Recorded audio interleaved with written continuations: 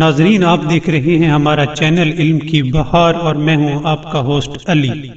नाजरीन, रवायात में मिलता है कि एक रोज इमाम मोहम्मद बाकिर लोगों से मुखातिब हुए और फरमाया, ए लोगों, मेरी बात गौर से सुनो। बेशक तीन चीज़ें ऐसी हैं जो इंसान को तबाह कर देती हैं। तब लोगों ने पूछा है फरजंद रसूल, वो तीन चीज़ें कौन सी हैं जो इंसान को तबाह कर देती हैं? तब इमाम मोहम्मद बाकिर लोगों से मुखातिब हुए और फरमाया पहली चीज़ जो इंसान को तबाह कर देती है, वो अपने अमाल को सबसे आला और बेहतरीन समझना है। जो शख्स अपने अमाल को सबसे आला और बेहतरीन समझे, ऐसा शख्स बर्बाद हो जाता है। दूसरी चीज़ जो इंसान को तबाह कर देती है, वो अपने किए हुए गुनाहों को भूल जाना है। जो शख्स अपने गुनाहों को भूल जाए, ऐसा शख्स तबाह बर्बाद हो जाएगा। तीसरी चीज़ जो इंसान को तबाह कर देती है, वो अपनी राय को सबसे बेहतरीन समझना है। जो शख्स अपनी राय को सबसे बेहतरीन समझे, बेशक वो भी तबाह हो जाता है। नाजरीन, इस वाक्य से हमें सबक मिलता है